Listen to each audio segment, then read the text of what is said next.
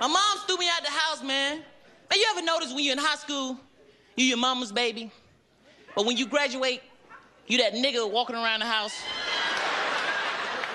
My daddy wanted me to leave all alone, man. Leave me little hints and shit like leaving army brochures and shit on my pillow. My mama do little shit like she'll buy peanut butter, went by the jelly. Buy Kool-Aid, went by sugar. My mom, what the fuck wrong with you? No, you can't make Kool-Aid without sugar. Shit, man. You can't fuck no more in your mom's house neither. It's a trip, man. Cause man, one time, man, I was handling business, right? But I had to listen out for my mom. So I told the girl, I said, you're gonna have to shut the fuck up. Cause I gotta listen out for my mom. I thought I heard something.